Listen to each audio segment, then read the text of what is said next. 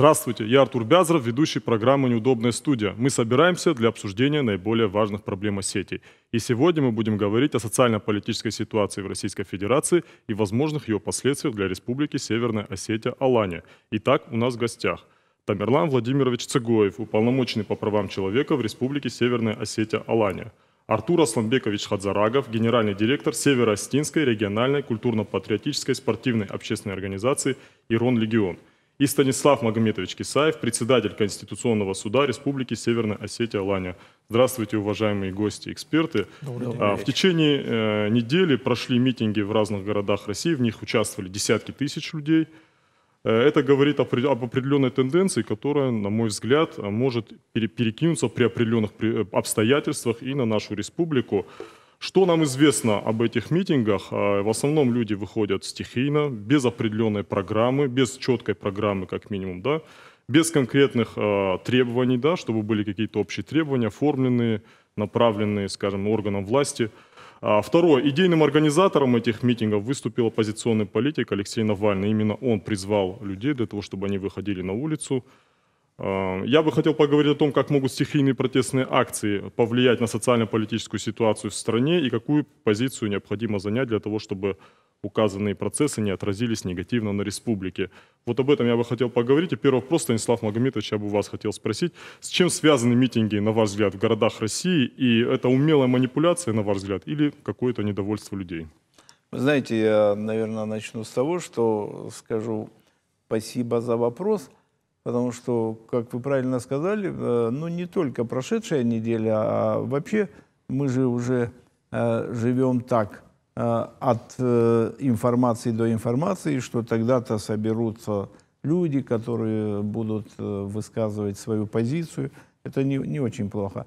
Но когда вот свою позицию начинают выражать в том виде, в котором это у нас происходит, на самом деле начинаешь переживать за ту страну, в которой ты живешь, э, потому что, ну, конечно, э, мы на себя не берем вот эту тяготу ответа на все вопросы, но наше видение, если оно интересно, и я вам благодарен за то, что вот вы сегодня на эту актуальную тему нас собрали. И мы должны определиться, что же это такое. То ли это чья-то инсценировка, ну, я не знаю, я слушаю, смотрю какие-то передачи в адрес Навального, э, упражняются э, в навешивании на него того-того, другие, наоборот, возносят его. Ну, как минимум известно, что он призвал людей выходить ну, на. Ну, это понятно, это понятно, но э, то, что он не мессия, это само собой разумеется, э, не потому, что э, Создатель один, а потому что все, что пытается быть копией, это всегда совершенно не то. И э, вот здесь, э, я не знаю, как мои коллеги э, к этому отнесутся, но я думаю, они тоже учились приблизительно, нет, не в то же время, но не очень далеки от классического понимания мира объяснения. И бытие определяет сознание, скажем так. И вот, скажем, то, что в нашей стране есть проблемы, это ни для кого не секрет. То, что эти проблемы порой носят такой, э, ну, если не вопиющий, то очень острый характер, это тоже не секрет. И то, что этим пытаются воспользоваться э, люди, э, у которых своя цель и так далее, и так далее, это же тоже не секрет.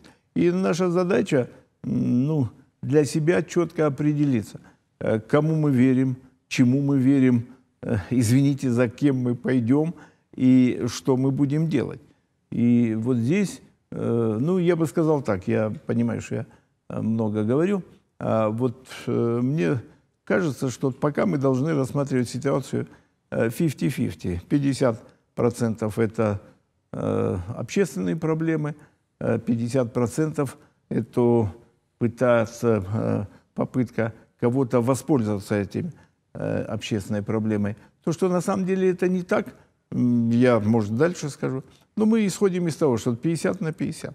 И как мы будем из этого выходить? Э, ну, не при помощи Навального.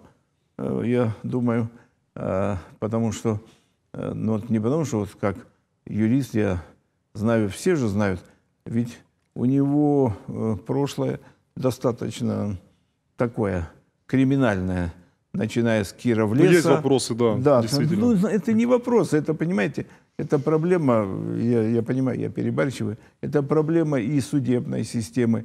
Как можно э, э, смотреть за человеком или на человека, который не является на режим регистрации и так далее, э, который во время э, пребывания на месте э, летает по стране, потом его отпускают за границу и так далее, и так далее. То есть э, это э, Есть вопросы, про- да, да, этой- проблема этой- общественная, но искусственно подогреваемая, извините. Ну, я полностью согласен с вами. Действительно, есть общественные проблемы, и это, наверное, нужно признать. И на самом деле и органы государства, и власть признают это. И Владимир Путин неоднократно говорил да, об этих проблемах, что есть проблема бедности, которую необходимо решать, есть проблема расслоения неравенства. Все эти проблемы наверняка, они тоже катализируют вот все эти процессы, и люди, конечно, у людей есть определенное недовольство, поэтому действительно 50 на 50 а, есть, э, ну, есть и умелое руководство, а, скажем, этим процессом. А, Я бы попросил наших режиссеров, чтобы они подготовили нам видео, а пока они нам его готовят, я бы вас хотел спросить, Тамерлан Владимирович, вот известно, что выходить на митинги призвал представитель э, внесистемной оппозиции, э, Станислав Магомедович об этом тоже сказал, Алексей Навальный. Можно ли доверять, вот на ваш взгляд, этому человеку? Ну, Потому что все-таки очень многое зависит от того, что за, что за политическая сила э, руководит этим процессом. Намерен ли он решать проблемы людей? Артур Васильевич, я могу сказать, что ну, у Навального была попытка участвовать в выборах, да? Совершенно правильно. И про себя я могу сказать, что я вряд ли его избиратель, да? По, больше по субъективным причинам. Насчет объективных это отдельно. Вот, э, я почитал тогда подготовленную программу в 16-17 годах. Вот, там и политический блок, и экономический блок, он у меня вызывал ряд вопросов. Там и, да, действительно, опора была на социальное недовольство, на... Она была, я бы сказал, лево, леволиберальной, лево, даже не консервативной, либеральной больше. Националистическое, да. Национализм присутствовал на раннем этапе, об этом, я думаю, э, отдельно надо говорить. Последние годы это все, видимо, было проанализировано и постепенно на- на- начало уходить из э, публичной риторики Навального, да. Вот. Но и первые эти высказывания, они сохраняются, как говорится, интернет все сохраняет, и люди читают, смотрят. И то, что политик подстроился, ну, он не единственный такой, мы видим и Жириновского, который периодически высказывает такие вещи, да, это все сводит, св- приводит к тому, что на Кавказе и в национальных республиках за ним э, традиционно мало следует. И мы вот по 23 января мы видели, что ноль На Кавказе не поддержали, да. ноль человек на площади Свободы и так далее. И не только на площади Свободы, даже публичных высказываний в его поддержку на Кавказе было крайне-крайне мало, и то, скажем так, в основном те, кто были заранее подготовлены к этому, да. Поэтому сказать, что можно ли ему доверять или нет, доверие это вопрос личный, я бы даже сказал, человеческий. А к публичному политику это очень тяжело применять, да. Это все определяется через э, систему демократических ценностей, через выборы и прочее. Как я уже сказал, его программы у меня тогда вызывали вопросы. Э, Экономическая программа, она просто оставляла желать лучшего. Хотя были предложения, которые вызывали интерес. Там и по сниженной ипотеке там, и так далее. Но мы видим, что с тех пор э, и государство постепенно это все нивелирует. эти проблемы. Да, потому что мы видим и работающие программы по сниженной ипотеке, которые были включены, к примеру, да, той же самой. Но я повторюсь, я не его избиратель. Если можно, Да, я да, просто вот э, я хочу, чтобы мы вот в ходе сегодняшней беседы э, по либерализму э, высказались, потому что, э, ну, э, да, на Кавказе все традиционно и так далее, и так далее, но тем не менее, я когда общаюсь со студентами, э, я иногда задаю провокационный вопрос. Э, Вам нравится э, Навальный? Вы знаете, э, публика вот э, реагирует так трепетно и начинает рассуждать о либеральных ценностях. Ну, я просто как заявку говорю, э, просто э, потому что я думаю, нам надо об этом сказать. И я думаю, коллеги скажут об этом. А, Ну, может быть, да, действительно. Мы поговорим еще об этом, об этой личности. А, Арту- Артур Асланбекович, я бы хотел вас спросить, а не является ли молодежь, которую призывать, э, призывает на улицу, выходить на улицу, да, объектом манипуляции а, Навального и сил, которые стоят за ним? Ну, Вот вы как представитель молодежной организации, что скажете? поводу? организации и преподаватели с 15-летним стажем. Ну, однозначно, потому что молодежь — это самая уязвимая часть социума. Э, Когда человек понял на определенном этапе своего развития, скажем так, что э, Россия на самом деле очень сильна на сегодняшний день, и никакими шантажами и дискредитирующими материалами он э, не может повлиять э, ни на политическую ситуацию, ни на общественную. Он решил бить по самому, ну, мне кажется, низко, ну, как минимум, да, потому что она на, на самом деле очень уязвимая. В этой связи у меня вот сейчас полная картинка складывается. Почему? Потому что вот эти методы, которые, с которыми работают с нашей молодежью, они для меня очевидны. Самая большая проблема на сегодняшний день, ну, что вы понимали, я могу с полной ответственностью заявить, что студент, вы сами преподаватель, студент 5 лет, 10 лет назад и сегодня это не разные студенты. Это разные люди с э, совершенно другим мировоззрением, понимаете? Они перестали, к сожалению, сегодня читать. Это факт, я называю факт. Когда задаешь вопросы э, в аудиторию, где 200 человек, назовите героев Советского Союза, осетин, молчание, ну и так далее. И так Перестали далее, так читать, далее. Да. соответственно, перестали, Да. у них а, нет возможности уже навык, пропал навык анализировать информацию. И, и все эти, оценивать. и- Клиповое мышление. Конечно, да, и все эти люди, все эти люди, которые понимают, э, что это определенные технологии, да, это, это определенные технологии разрушения социума э, изнутри. Это все вот эта вот штука. Когда они 22-24 часа находятся в Инстаграме, я, я дай бог, чтобы было так, чтобы они э, посещали сайты НАСА, Роскосмоса, да, постигали что-то новое, исторические какие-то странички. Но вы же знаете, какие сайты они посещают. Поэтому это очень большая проблема. Естественно, он решил воспользоваться этим. Я- особо, если честно, за ним и не слежу. Но для меня, как э, для россиянина, осетина, его слова о том, что Кавказ — это бремя для России, да, именно Кавказ, Осетия — бремя для России, в которой каждый второй герой Советского Союза Наша республика, она практически наполовину сократилась, отдавая жизни за благосостояние этой страны. И человек, который мыслит такими категориями, для меня здесь не то, что его... э, куда еще ходить? Ну, ну, да, говори, избиратель или да, кто-то вот такой, ну, понимаете. Мы сами виноваты в том, что сами же его и пиарим, вот этим всем самым. Ну, мало ли в России э, умных людей, которые несут непонятно что.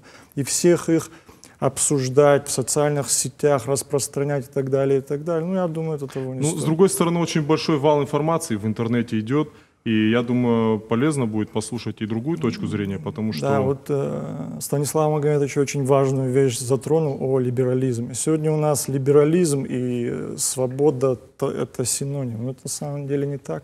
И э, вот э, в любом случае какая-то цензура и в сети должна быть, понимаете?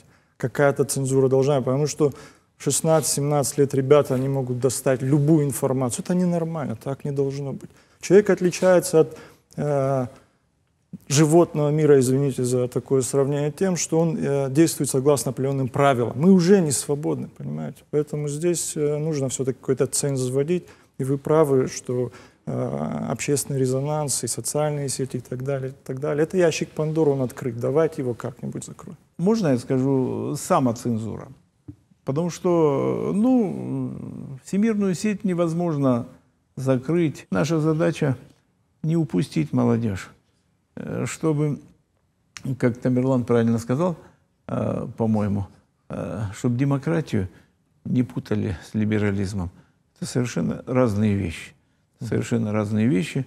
И, ну, Поживем, Я- увидим. Ну, я полностью Извините. согласен с вами. Действительно, интернет очень трудно закрыть. С другой стороны, молодежь, Станислав Магомедович, правильно вы об этом сказали, очень, очень важно, чтобы молодежь понимала те процессы, которые происходят у нас. То есть молодежь – это часть, та часть общества, которая в силу возраста очень легко политикам, определенным политикам, безответственным, да, вовлекать а, в определенные авантюры, как мне кажется, да. Я бы хотел, чтобы сейчас, э, если у нас э, видео готово, чтобы нам показали его, и мы дальше посмотрим, может быть, прокомментируем и продолжим наш разговор.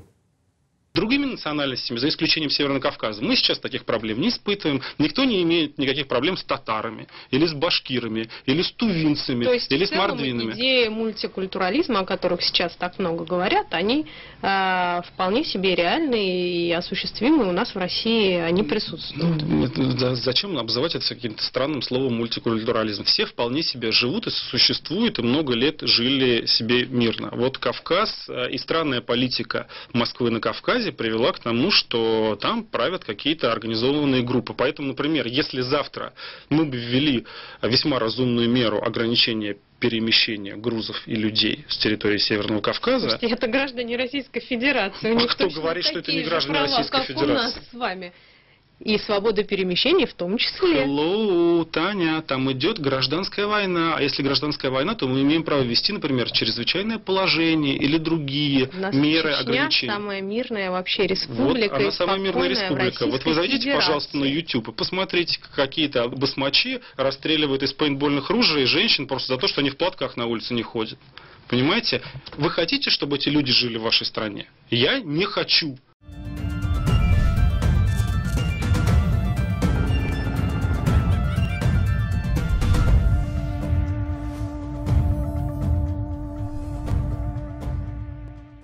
Попрошу наших режиссеров, чтобы они показали еще одно короткое видео.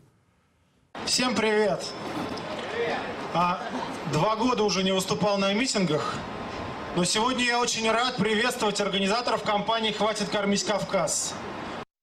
А, Вот это фрагмент буквально из его выступления на, на одном из э, митингов тоже, а, с таким, который проходил с таким лозунгом «Хватит кормить Кавказ». Он принял в этом митинге тоже активное участие. Ну, есть масса других разных его высказываний там, по поводу мусульман, разные оскорб- оскорбительные, да, там называл чучмеками а, и так далее, и так далее, да. А, Не будем все, обо всем говорить, но вот есть такое мнение, что, Станислав Магомедович, я бы вас есть мнение, что, у, допустим, у Алексея Навального нету программы, просто он критикует власть, выступает с разными разоблачительными материалами. А разве это не является программой? По сути, ну, националистические высказывания, он фактически говорит о том, что хватит кормить Кавказ. То есть, хотя на самом деле Кавказ это, как мне кажется, не самый дотационный регион, да, и статистика об этом говорит. У нас еще есть Да- Дальний Восток, который гораздо более дотационный. А, но вопрос не в том, да, Кавказ это часть России все-таки. И с другой стороны, он призывает, чтобы ограничили миграцию людей. Он говорит о том, что именно с народами Кавказа такие проблемы у России сразу сопоставляет а, Кавказ с другими народами и так далее, и не в пользу Кавказа, да? Вот на ваш взгляд, есть ли все-таки программа у Алексея Навального, не является ли это частью его такой программы, и не пытается ли он таким образом воздействовать именно на тот электорат, который отличается вот такими националистическими взглядами, небольшую часть, вот, э, скажем так, нашего общества? Вы знаете, вы меня ставите в неловкое положение, потому что вот на эту тему мы включим телевизор, и мы будем долго-долго-долго говорить, но я хочу, чтобы коллеги тоже э, Высказали. высказались. Я просто хочу сказать, какая программа? Это не просто, даже не демагогически за все хорошее и против всего плохого. Это э, человек, э, который, ну, э, извините, Тамил Владимирович, я сожалею, что он коллега с нами по профессии. Юрист. Это, ну, юристов бывает много, но человек, который такую пургу метет, и да, молодежь это э, люди, которым все интересно, но когда они ничего другого не слышат, эм, э, ну, это же старая песня э, про Кавказ, э, про туземцев. Вот мы сегодня же говорили о том, что э, не будем только про Осетию говорить, э, как мы э, себя ведем по отношению к нашей великой державе. Но вот когда вот такие демагоги затевают вот эту вещь, что ничего, кроме э, низменных и э, чувств, э, они не, разбу... не про- пробуждают э, У большинства людей, как. Абсолютно. Ну, все понятно. Жизнь не самая хорошая у нас. Особенно, когда мы говорим о том, что э, страшное расслоение между супербогатыми и просто бедными, когда страшное расслоение во всем обществе, то кто виноват в моих несчастьях? Мой сосед. А кто из наших соседей? Кавказ. Вы меня простите, кто вышел на митинги? Не Кавказ, а вышло Урал, Соверш- который, там, Кстати говоря. извините меня, зарплаты там не на уровне кавказских. Доходы выше, да, действительно. Это, и, извините меня, э, скрытая преступность тоже не уступает Кавказу. Я уж про Москву и Санкт-Петербург не говорю. Ну, на Кавказе, по-моему, один из самых низких уровней преступности, на самом деле. Э, А так, вот, Станислав Магометович, такой вопрос я хотел бы. Вот эти высказывания, вот вы как заслуженный юрист все-таки, скажите нам, они разве не на грани экстремизма? Почему на, на грани? Они и есть экстремизм. Это элементарное разжигание межнациональной розни. Вражды. Ну, то, с чего мы начали. Э, скажем, непонятно для чего и для кого этот человек э, так долго пребывал на свободе. У нас нет структурированного, хотя бы элементарного гражданского общества. Вот понимаете? И э, он пользуется уважением, точнее, вниманием у той части населения, которая у молодежи. Я, извините, не потому, что самый старший, почти старый, не потому, что вот против молодежи, но государство, э, не бойтесь этого, должно молодежи э, предлагать варианты выхода из ситуации. А когда государство этого не делает, появляются Навальные, которые говорят, я ваш спаситель, я пришел дать вам свободу, за мной, не думайте ни о чем. И вот то, что получилось, то пол- я удивляюсь на самом деле. Мы чересчур долго говорим о нем. Надо говорить просто о том, что он из себя ничего не представляет. Спасибо, Но Станислав. не Маг- забывать о том, что это проблема общественная. Но это чуть другая тема. Ну, действительно, да. А На волне э, общественных проблем э, как раз-таки такие политики и зарабатывают свой политический капитал. И э, я полностью согласен, действительно, вот мы неоднократно говорили, не раз, да, об этом, и Артур Асланбекович, Станислав Магомедович, вы об этом говорили, что молодежь, да, действительно, она отличается а, либеральным мышлением, по крайней мере, значительная часть молодежи, но с другой стороны, вот на Кавказе эти протестные акции, их не поддержали. Значит, все-таки у нас э, жители нашей республики, они, как мне кажется, отличаются определенной мудростью, они понимают, что а, в какой-то степени, конечно, в значительной степени это все манипуляция. Тамерлан Владимирович, я у вас хотел бы спросить, а каким последствиям могут привести данные протестные акции э, в России? Э, На ваш взгляд, это решение социальных проблем, может, произойдет каких-то, или наоборот, дестабилизация ситуации в стране? Вот а- особенно применительно вот э, к нашей республике, к нашему региону Северокавказскому. Ну, последствия, здесь надо понимать причины в первую очередь, чтобы потом понять последствия. Да? Э, Первопричинами являются те моменты, на которых э, частично указал Станислав Магометович. А работа с молодежью, любая молодежь, она пассионарна, намного пассионарнее, чем э, иные возрастные категории. И революции и прочее все всегда опираются на молодых. И ап- апелляция к молодежи здесь, э, оппозиционных сил любых, там системная, несистемная оппозиция, это неудивительная вещь. Во все времена это так и было. Э, Человек, когда проходит, не до конца прошел еще ступеньки по социализации, он подвержен манипуляции. В этом плане э, оппозиция, какая бы она ни была, как я уже сказал, она именно к молодежи поэтому апеллирует. Революцию Когда- делают энтузиасты молодые, а пользуются, Плодами, да. извини. Когда, когда мы говорим о первопричинах, то действительно вот э, вопиющее социальное неравенство, которое мы имеем сегодня, и э, уже, по-моему, в этой студии мы когда-то об этом говорили, отсутствие ощущения социальной справедливости у людей. Вот эта социальная справедливость, она, конечно, философская категория, но народ тяжело обмануть в этом плане, в этом вопросе. И вот э, последствия любых вот таких акций, они э, зависят от того, какие ресурсы прилагают усилия, какие ресурсы на это кидаются и так далее, какие, э, что противопоставляет этому всему государство, да, что, это, что делает. И действительно, вот, э, да, в риторике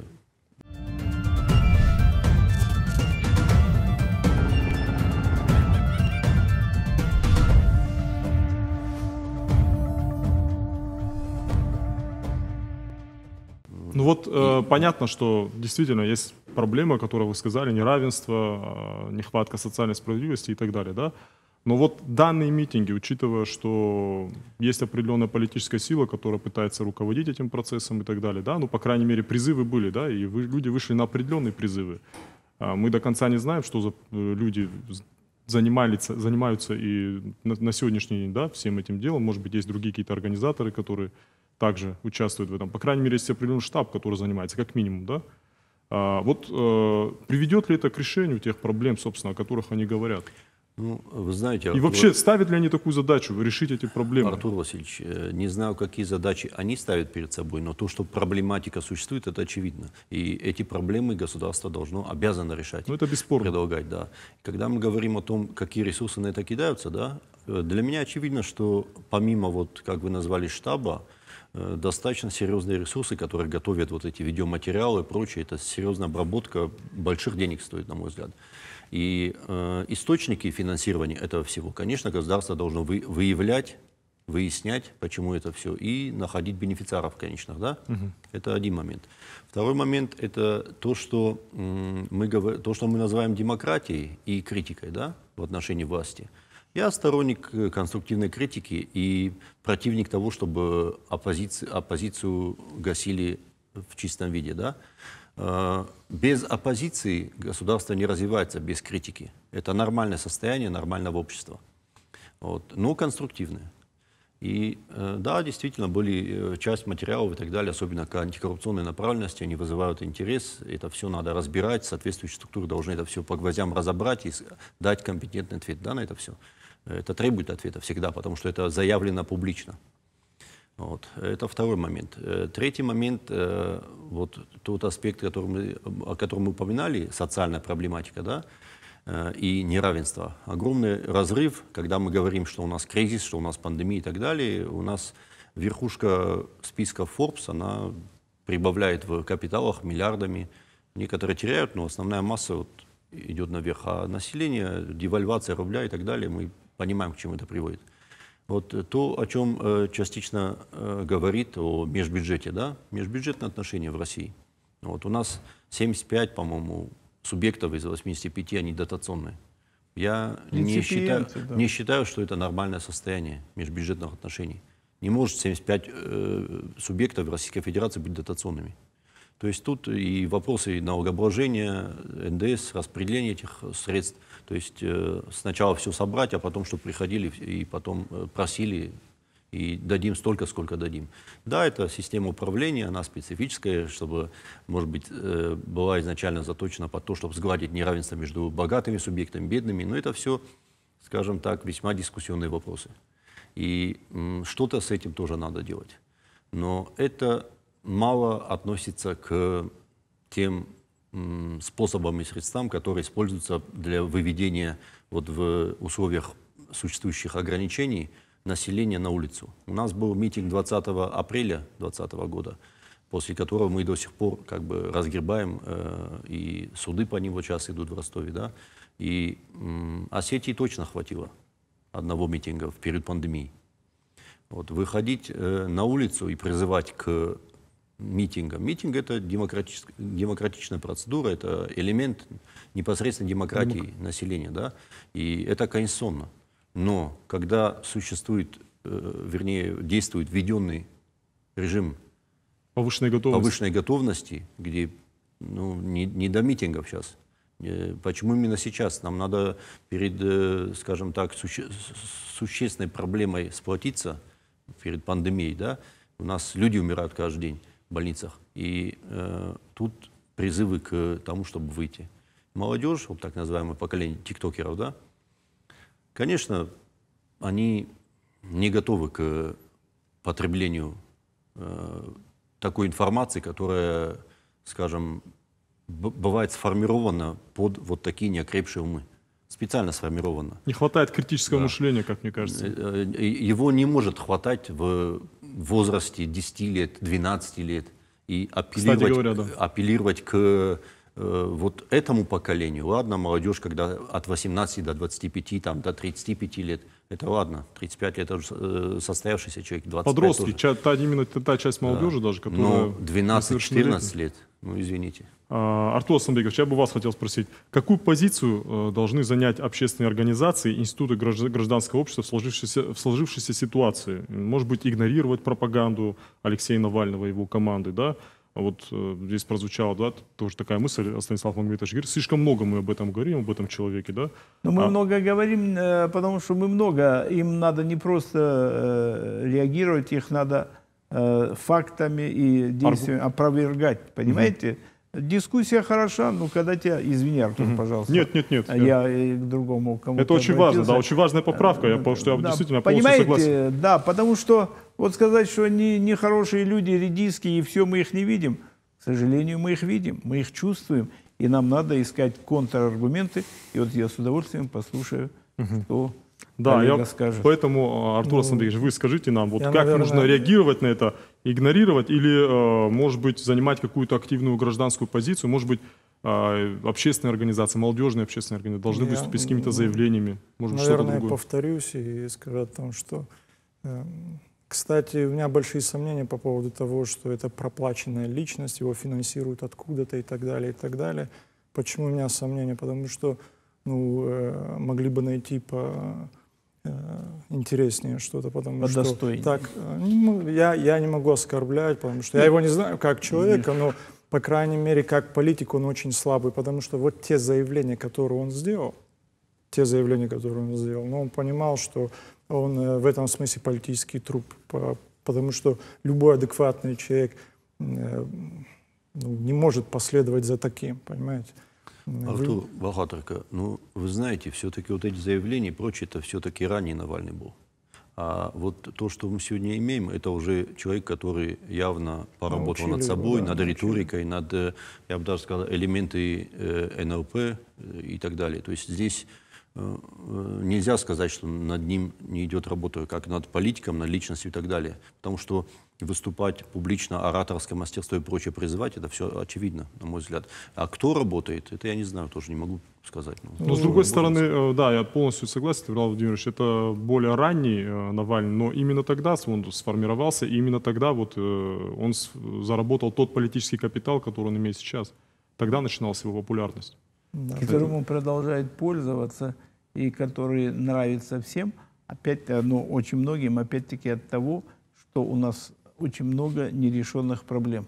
Он обозначает проблемы, давайте решать эти проблемы, а не фехтовать с ним э, интеллектуально э, на предмет того, э, вот там ты не прав. Э, просто, извини, пожалуйста. Нет, нет, э, Кстати, если можно, да, сам? о Да. решении проблем. М, Я помню 90-е годы, ну, мне лет 12-15, наверное, было. Вот в последнее время очень активно в социальных э, сетях популяризируют то время.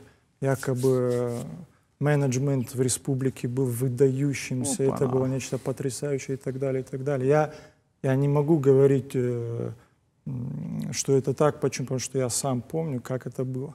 Я могу с полной ответственностью заявить, я же помню, по крайней мере, по разговорам, что такого количества финансовых средств, как в 90-е годы в республике, не было и, скорее всего, уже не будет, я не знаю, никогда. Нелегальных, Ну, э, ну хорошо. извините. Да, это были значит, наверное, колоссальные... какой-то Это степени. были колоссальные деньги. Если бы действительно в нашей республике были великие патриоты, как коими их называют, у нас были бы дороги, заводы, школы и так далее, и так далее, и так далее. Почему-то их нет, но у нас есть Алания, и они против. Ну не может быть пира во время чумы. Хлеба и зрелищ, ну вот, вот так вот мы и жили. Затем еще одно поколение руководителей, еще одно, еще одно. Давайте проанализируем. И э, вот нынешнее руководство, когда оно пришло, у всех был скепсис очень большой, потому что люди устали от этого застоя. Осетия устала. Хочется чего-то нового, хочется продвижения, причем не, не, не эволюционного, а очень быстрого, потому что люди хотят этого. Не бойте Да. слова революционного. Я этого не произносил. А я на- настаиваю. Нет. Э, так вот. Я- То есть вы считаете, что у нас какое-то движение есть вперед? ну, давайте, ну давайте объективно. У всех был скепсис, у меня в том числе, но есть определенные шаги. Вот давайте факт. Когда такое количество было новых дорог в республике? Когда такое количество э, новых э, медучреждений открывалось? Когда такое количество школ? Ну вот давайте факты будем называть. Давайте сравним периоды. Важные социальные объекты, какое количество их было открыто в, с 90-х годов по нынешнее время, и просто резюмируем.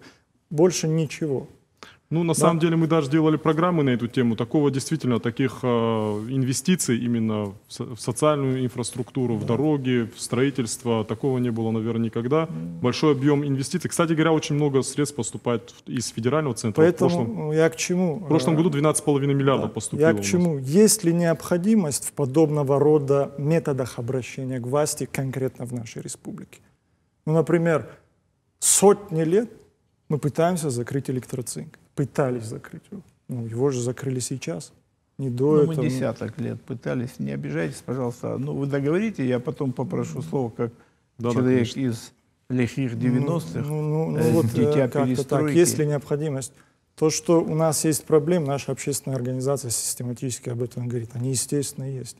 Но э, давайте... Очень важно, вот чтобы об этом говорили общественные, чтоб- а- общественные организации, чтобы это не переходило в какое-то деструктивное русло. Да, Вот э, об этом на- идет речь. Основная цель э, деятельности нашей организации состоит в том, чтобы э, мы сделали акцент на морально-нравственном оздоровлении молодежи. Это очень важно для нас. И вот когда первые попытки руководства были шаги в этом направлении сделать, я помню, было выступление против э, курения кальянов там, и еще чего-то. Ну, Все ополчились, как это и что это. Я не понимаю, что в этом плохого. Ну, я лично против того, чтобы молодежь себя губила вот этим. Я против этого. И дай бог здоровья тем, которые инициировали это. Нет, им обязательно должны противопоставить что-то. Якобы кто-то не видит там э, э, главных проблем. а Да, они увидели вот эту проблему и решили взяться за нее. Давайте поддержим это начинание. Вдруг, я не знаю, у людей еще больше желания разгорится, они, они еще больше начнут делать. Нет, мы же должны это сразу пресечь оскорблениями, унижениями и так далее. Но это тенденция инстаграмная. Я это согласен тенденция с вами. инстаграмная, поэтому с этим, конечно, тоже нужно что-то делать. Это ненормально, потому что один, любое начинание – это негатив. Любой... Давайте попробуем поддержать. Не унижать, не оскорблять и говорить, ну, можно было по-другому сделать, а поддержать. Ну, что для- из этого? Для может этого и нужны, я, как мне кажется, общественные организации, э, институты гражданского общества, чтобы они эти вопросы находили, чтобы они их э, Ну, во взаимодействии мы- с органами мы как государственного можем это делаем. Вот все, Я не сомневаюсь, да, все просто- возможные способы, которые мы представляли для себя, мы их используем. У нас огромное количество известных спортсменов. Впервые вообще я, э, ну, ребята эту идею подкинули. И я, я не встречал доселе такого, когда систематически изо дня в день они обращаются к молодежи. Я помню, Тимур Аляров обратился и говорит, очень важно, что вы за нами э, ездите в другие регионы, пытаетесь поддержать, но куда важнее, вы проявите свою любовь и отношение к нам, не тем, что вы рвете на себе э, футболки и говорите «Ирод Таражин», а тем, что вы перестанете курить, пить и так далее, займетесь э, обучением и так далее, и так далее. Ну вот в каком-то... Но это таком очень важные социальные проблемы, то, о чем вы говорите. Действительно, есть э, экономические разные проблемы, а есть проблемы нравственного порядка. И они И, комплексные. кроме того, это очень Ну, э, Артур- положительный Артур, пример. Э, Ас- Аслан Бекович, вот э, когда мы говорим вот о таких проблемах, да, э, мы очень часто даже в этой студии, опять же, говорили, Поднимали, да, эти у нас поменялось время, у нас серьезнейшим образом поменялась информационная картина. Э, То те инструменты, тот инструментарий, который сегодня работает, вот эти инстаграмы, телеграммы и прочие граммы, да, они э, привели к тому, что если раньше надо было совершить какое-то дело благое, это 70% усилий, и может быть 30 или даже меньше усилий, это осветить это, чтобы донести до широких масс населения, то сегодня, наверное, ровным счетом наоборот. Это означает, что 30% это усилий на совершение какого-то дела, а 70% на освещение и снятие негатива, который идет по благому делу в социальных сетях. То есть, что бы хорошего ни сделал человек, организация и прочее, все равно негатив выливается.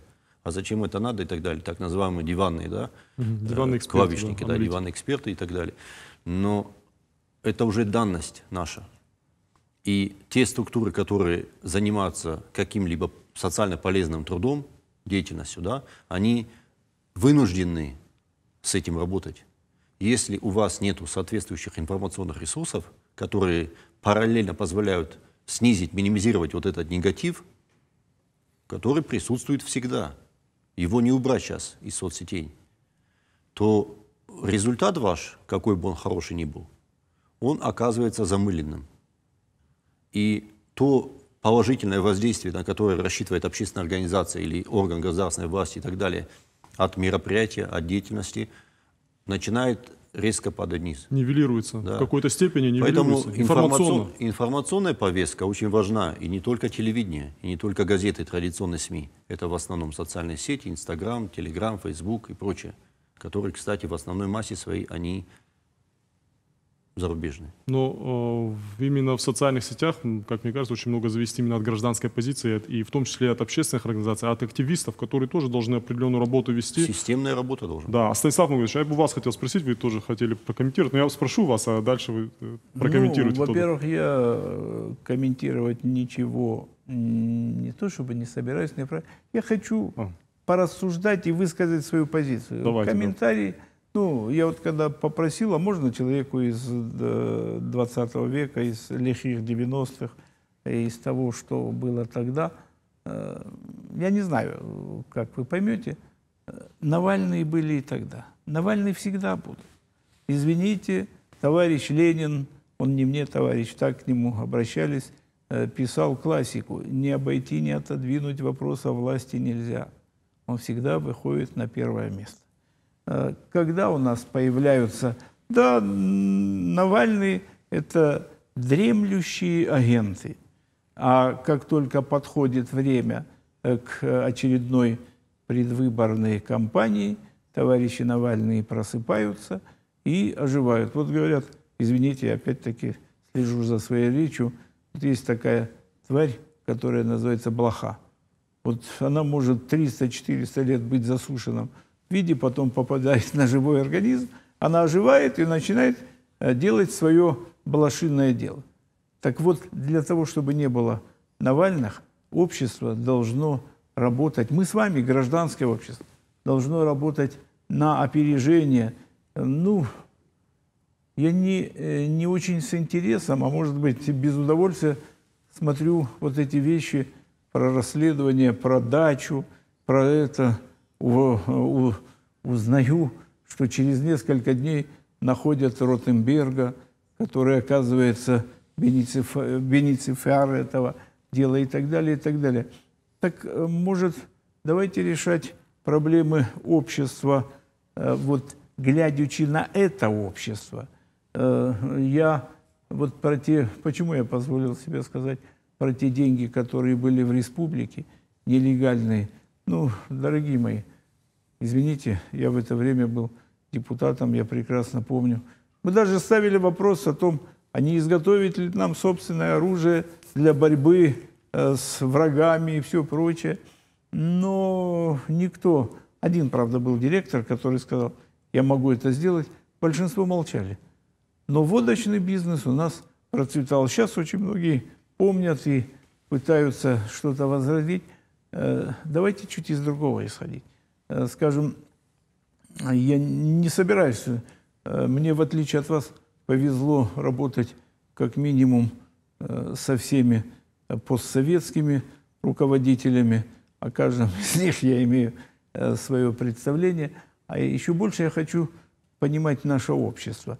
Что мы из себя представляем?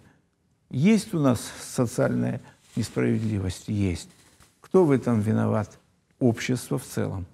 Понимаете? Э, Нельзя... Вот э, Вячеслав Зеленуханович все время говорит, давайте перестанем... э, Кстати, до него это все говорили. Давайте перестанем надо студенты принимать вот людей, готовить юристов, экономистов, стоматологов и все прочее. Ну Невостребованных что? специалистов. Да, понимаете, они же продолжают идти туда. Вот у нас на юрфаке э, в этом году ушедшем не было ни одного бюджетного места. Но тем не менее, скажем, у нас за 150 человек студентов.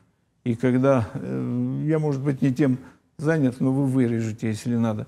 Если я на первом курсе прихожу к студентам и говорю, здравствуйте, товарищи будущие безработные, на меня очень многие обижаются. Э, я же, извините, трезво понимаю, что такого количества юристов нам никогда не понадобится. Но публика же все равно идет туда, и она себя социально превращает в обездоленную часть. А потом приходит Навальный или какой-то наш человек, за кого они боролись в апреле месяце, да, и он говорит, вас дурят и так далее. А человек же знает, что, скорее всего, он на работу после института не попадет. И он говорит, оказывается, меня на самом деле дурят. Давайте я эту власть поменяю. Сейчас, чтобы не дождаться того, э, когда э, меня полностью обдурят. И вот я так хочу... То есть молодежь сама должна взять на себя ответственность конечно, за свою судьбу. Конечно. Вы об этом говорите. Конечно. Э, потому что, ну да, это, я не смею такого слова говорить, перебеситься совершенно нет. Социально адаптируется. Когда он поймет, что для того, чтобы жениться, для того, чтобы создавать семью, ему надо что-то зарабатывать. Для того, чтобы что-то зарабатывать, надо, чтобы это было, грубо говоря, достойно и общественно значимо. То есть э, давайте как-то мы э, все же не забудем, а оставим э, Навального в покое. Я надеюсь, правоохранительная система нашей страны все же наконец-то определится. А мы вот за ту часть, за всю Россию не будем отвечать, а вот за ту часть общественной жизни, часть гражданского общества, которая есть в Северной Осетии, сделаем э, все, чтобы от нечего делать на площадь не ходили. А, Нужно ли нам, вот Станислав Магомедович, э, извините, я вас перебью, вот для э, того здесь Артур Асланбегович, Тамерлан Владимирович подняли такую очень важную тему, как мне кажется. Это, они сказали о том, что нужно работать больше с нравственностью молодежи, со здоровьем молодежи, нравственным да, состоянием.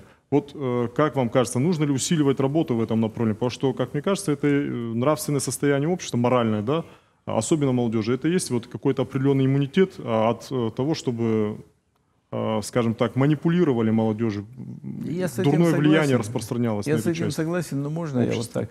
Я как старый э, марксист, э, э, детерминированный э, марксист, нравственность появляется там, где есть экономический базис. Скажите, извините меня, нравственнее монаха никого не бывает. Но никто же не мечтает о монашеском образе жизни, правильно? Э, во всем цивилизованном обществе есть такое понятие, как средний класс. Мы к этому понятию только идем. Вот э, мы с вами представители среднего класса. А если мы себя запараллелим с, со средним классом из недружественного нам общества, э, по их понятиям мы да, далеко не средний класс, правильно? И, а моя нравственность, она, ну, я же не говорю, что она от брюха зависит, но организм это же явление взаимоциркулирующее. Бытие определяется. Да, правильно? Э, материя определяет сознание, но это же не говорит о том, что вот я через пузо думаю. Но нравственность – это категория, которая общечеловеческая, и надо возвращаться к этому. Извините, может быть, я сейчас... Ну, нужно ли нам вот как-то активнее проводить работу, на Само собой. Вот среди молодежи. Да, но не говорить о том, что только у нас есть понятие Ахдау. Только мы Э, знаем, что такое Ахдау, все другие этого не знают. Только мы должны вписать в свою конституцию это понятие. Понимаете? Ну так нельзя. Так нельзя. Э, человек, это же переводится очень просто, homo sapiens. Существо разумное. А уровень разума и разумности опять-таки предопределяется самим обществом. А вы затронули очень важный вопрос. Вы сказали о том, что у нас избыток юристов, экономистов. Вот. Стоматологов и гинекологов, визажистов тоже. Извините. Я не буду называть организацию, вот сейчас им требуется юрист на 50 тысяч, они его не могут найти. Скажите Еще... мне после передачи, я, я им найду. Еще одна есть организация, где на 43, она, по-моему, мне говорила, 43 тысячи требуется бухгалтер. Не могут найти. С чем связана эта проблема избытка и дефицита? Квалификация. Ну, понимаете, вот я же говорю, массу выпускаем, но как дело до дела это же парадокс. доходит. Это парадокс как ну, раз Как мне кажется, работодатели тоже очень умело используют эту Да ситуацию, нет, это избытка, деф- избытка дефекты кадров. системы образования нашей. Конечно, это конечно. очевидные Конечно. вещи. Э, Когда мы говорим, что бесплатное образование, которое было в советский период, это было, безусловно, достижение. Вот эти образования дают возможность так называемых социальных лифтов, то, что мы имеем. Да? Когда мы говорим о западной концепции платного образования, то э, дети из вот этих беднейших, не являющихся средним классом хотя бы, да, э, слоев, они по сути не имеют э, широких возможностей для того, чтобы Получать перескочить, образование, да. перескочить эти сту- ступеньки социальные. В Советском Союзе это сгладили и дали возможность э, детям рабочих, крестьян и так далее все-таки вы- выскакивать Социальные на, лифты. на какие-то средние уровни хотя бы, да? Гарантия А вот социального. Когда мы вот этот переход э, сделали от э, коммунизма или социализма, будем говорить точнее, да, к капитализму, который казался для нас диким, да, мы по природе своей не, не были буржуазным государством. Долгие минимум 70 лет. Не да? были готовы к этому, да? Не, вы это мы не были буржу- буржуазным государством, 70 лет минимум. И экономику перестроить. Вот Китай пошел плавным путем, мы знаем это, да? А у нас получилось, что мы об колено сломали систему и начали внедрять. До конца не смогли, потому что отголоски бесплатного образования, бесплатной медицины и так далее у нас остались, что ближе к скандинавским странам, на самом деле, скандина- скандинавской модели. А налоговая система, о чем мы говорили до этого, и так далее, и так далее, она оказалась буржуазной, с жестким кап- капиталистическим содержанием, нутром. Но Ну, на вот, сегодняшний это день буржуазный... бесп- вот это бесплатное образование, которое мы сегодня имеем, оно оказывается не совсем бесплатным и не для всех бесплатным, так же? Вот, э, и получается, что люди идут на небюджетные места, платят деньги в надежде на то, что получат какое-то качество. Однако в отсутствии конкуренции, когда мы убили э, изначально частные вузы, по сути, и оставили государственные, где система, она не не самоочищается, скажем так, от некачественного преподавателя, некачественной службы контроля за знаниями да, на выходе, то мы получаем вот тот продукт, о котором мы говорим. Кучу людей с дипломами о высшем юридическом образовании и так далее, и так далее, которые не могут э, пойти в суд и не могут э, исковое заявление хотя бы написать, элементарное. Да? Так для чего такие юристы э, получается. Конечно, мы не можем потом искать нормальных, качественных юристов кадры, да? А что делать этой молодежи, которая идет? Она, может быть, действительно хочет. Но э, здесь нету односторонне виноватых, на мой взгляд. Ну, надо здесь- сказать, надо сказать, э, начал. молодежь уже чувствует тенденции и уже, э, скажем так, пос- постепенно, может быть, но есть такая тенденция, что выбирают другие специальности. Ей надо помочь в этом. Я ни в коем случае не подвожу итоги, ничего. Просто к той же самой э, вот обращение к молодежи. Не потому, что я самый умный, э, я самый старый, у меня наболело. Да, да, да, конечно. Я могу говорить? Конечно, да. Чтобы молодежь жизнь видела не через экран вот, ин- интернета, не, не только через э, интернет, а жила в реальной жизни. Выйдите на улицу не только для э, протеста того, чего вы не очень понимаете, а чтобы посмотреть э, и не просто сказать, что жизнь на самом деле прекрасна, жизнь интересна, и за нее надо уметь бороться э, во всех доступных формах в рамках закона. Спасибо. Накрутил. Нет, нет, очень правильно. Я бы тоже подвел определенные итоги. Вот действительно настроения, которые лежат в основе тех протестных акций, которые прошли, э, действительно очень много об этом ск- сказали. Как мне кажется, очень правильные слова, что есть действительно проблемы, есть социальные проблемы, которые требуют этого своего решения. И это ни для кого не секрет, потому что у нас и президент об этом говорит Российской Федерации, что есть бедность, есть расслоение, есть неравенство, есть отсутствие ощущения со- социальной справедливости. И все эти проблемы, они, конечно, а, ну, требуют своего решения. Но, с другой стороны, есть и манипуляция этими проблемами, то, о чем мы говорим на сегодняшний день. Вот эти политики, да, которые, э, политические деятели, да, оппози- оппозиционеры, которые, скажем так, руководят с этим, этим процессом, направляют энергию, протестную вот эту энергию, а, как мне кажется, это нап- направляет ее в своих интересах. А, И вот это движение оседлали э, на сегодняшний, как мне кажется, все-таки это националисты, шовинисты, Э, Поэтому, как мне кажется, это может привести к достаточно неблагоприятным последствиям. Это мое мнение, конечно. А, Поэтому, конечно, очень важно, чтобы молодежь все-таки была более сознательной в этой ситуации. Но, как, как показывает практика, действительно, жители э, республик Северного Кавказа, в том числе нашей республики, повели себя очень мудро и в этой ситуации не поддались на провокации. Я бы вас хотел поблагодарить за участие в программе, за вашу позицию и за вашу работу. Спасибо большое. Это была программа «Неудобная студия». Встретимся через неделю. До свидания.